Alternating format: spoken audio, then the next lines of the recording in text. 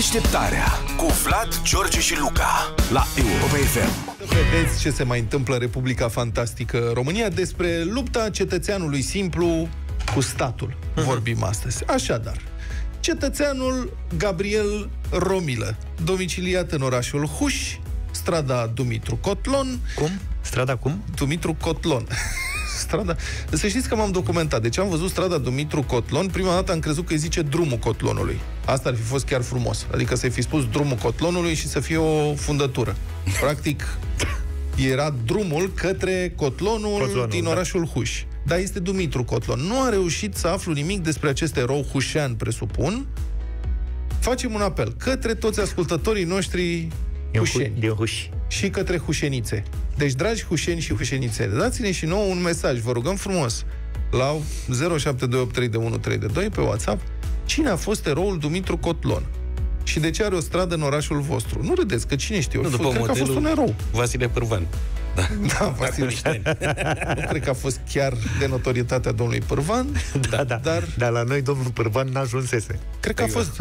Acum, eu m-am gândit că a fost un erou de război, dar de obicei acolo, la eroi de război, se scrie sergent Dumitru Cotlon, sau major, sau colonel, sau ce-o fi fost el. Dar aici e doar Dumitru Cotlon. Cine a fost hușeanul Dumitru Cotlon? Sigur a făcut el o faptă bună. Bun, are o stradă în oraș, problema e așa, deci cetățeanul Romilă din Cotlonul Hușilor avea și dânsul un vis. Asfalt la Cotlon. Cum Pentru sună că asta? străduța lui este de pământ. Pentru că nu e așa, în numeroase orașe din această țară nefericită, până la urmă, nu e încă nici măcar secolul 20, dar aminte 21, așa că sunt străzi de pământ în oraș, Nu era chiar important domnul Cotlon dacă i-au dat doar pământ. nu știu ce să zic. Și firesc la fiecare ploaie, zăpadă la poviță, tot drumul cotlonului devine o fundătură de noroi, grob și bălți, iar vara, dacă nu plouă, e praf, evident. E un praf de se sufocă copiii. Stai că am primit mesaj. E cu Dumitru Cotlon? Nu știm. Cetățeanul Romilă a hotărât însă să ia problema în propriile mâini și, cum se spune, să ia și edilii în bețe. Deci neam de răzeș, cred. Uh-huh. Ușanul Romilă, frate, a zis, rezolvi o problemă.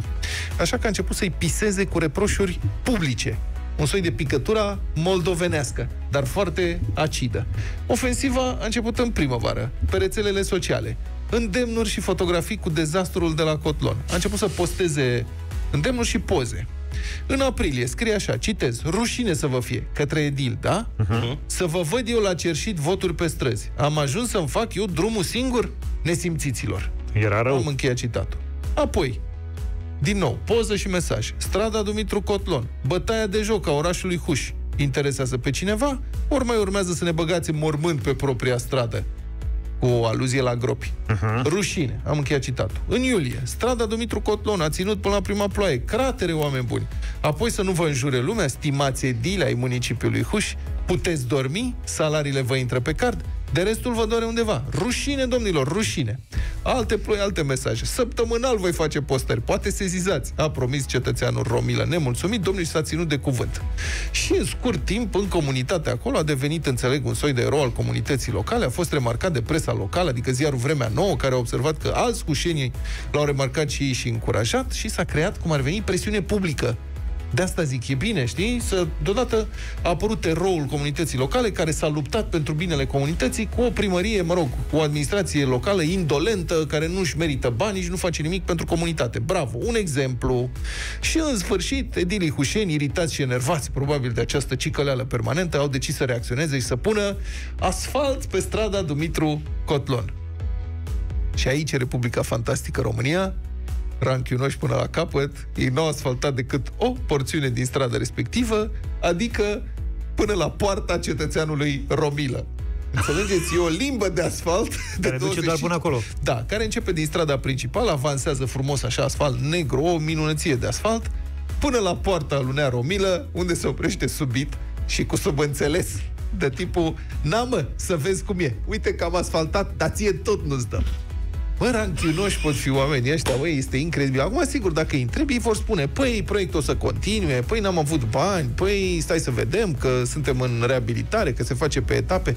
Bă, dacă au făcut, asfaltez strada până la ăla la poartă, săracul de el, ăla care, săracul, el s-a luptat cu toată administrația și cu toată primăria. Dă-i mă și lui asfalt, mă, ce te costă? Pe cine pedepsești, mă? E un contribuabil. Și eu aș da și numele străzii. Strada Gabriel Romilă. Strada Gabriel Romilă. N-are, mă, da. păi stai, aici ai cu... ce cu domnul Că e Cotlon? peste orice ar fi făcut Cotlon ăsta s-a bătut pentru strada aia. Oricum Deci chiar nimeni e- nu știe cine e Dumitru Cotlon, pentru Da. că nu, nu Deci reușim facem- să dăm de... O să se afle. Deci facem un apel către primarul din Huș și către viceprimar și Consiliul Local. Dragi, dragi hușeni, faceți-vă, domnule, datoria, asfaltați strada Dumitru Cotlon, să nu vreți să aveți și voi Cotlonul asfaltat în Huș, vorba aia. Deșteptarea cu Vlad, George și Luca la Europa FM.